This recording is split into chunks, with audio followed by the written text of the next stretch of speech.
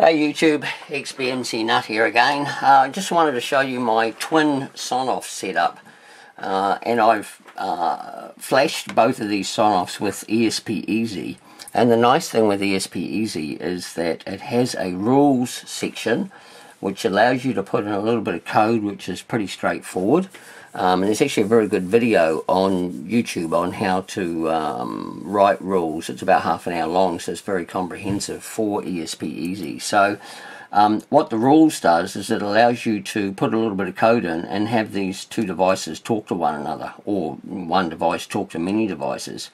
Um, and, it, and it can do that using multiple protocols. So you could have a temperature sensor on this one and it could uh, basically when the temperature goes over a certain uh, limit you could get it to turn this Sonoff on.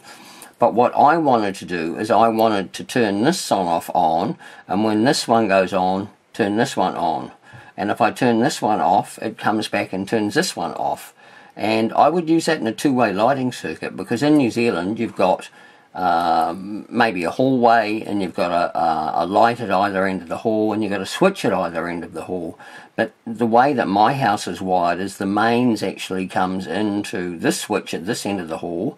Um, but the light bulb or bulbs are actually connected to the switch at this end of the hall and in between the two switches you've just got a pair of uh, one cable with two wires that is, does the crossover for the, um, the two-way switch.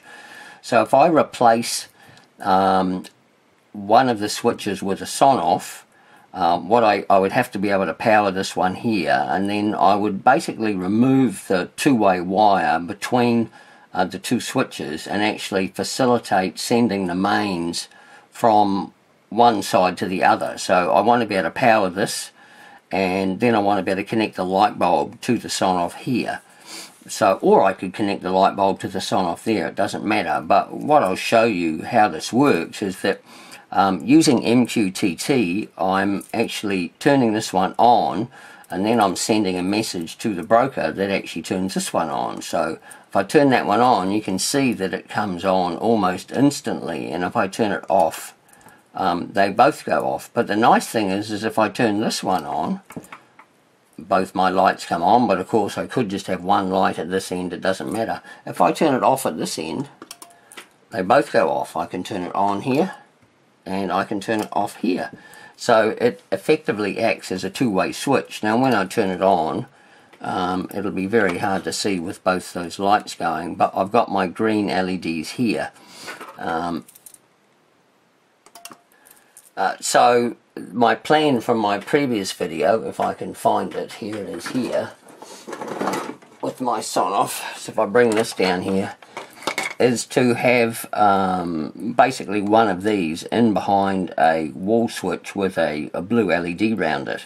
And then from my previous video you'll see that when the light is off we have a very uh, dimly glowing a blue LED and when the light is on that will be at a, a pre-programmed brightness using PWM so that's my grand plan.